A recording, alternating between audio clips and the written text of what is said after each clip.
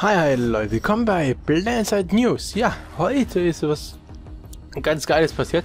Die haben die Autoturrents, also die automatischen Geschütze für den Ingenieur auf dem Testserver frei zugänglich gemacht. Ja, im Hintergrund seht ihr jetzt die ersten Bilder von der Spitfire Autoturrent, die für alle Klasse gleich aussehen. Ich habe es getestet. Ähm, dieses Video ist jetzt nur eine kurze Ankündigung, weil es schon ziemlich spät ist.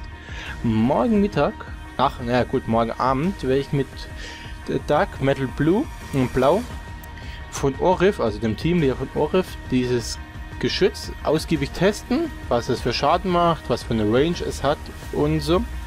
Das wird alles morgen Abend explizit ausgetestet, deswegen schaltet morgen Abend rein, wenn das Video online kommt, so zwischen, ich würde sagen, 8 und 10 Uhr. Dann seht ihr genaueres zu dem, diesem neuen Geschütztyp hoffe, dass es das Spiel nicht ziemlich aus und die Balance zerstört. Und deswegen schaltet morgen rein. Dann seht ihr mehr. Bis dahin. Tschüss.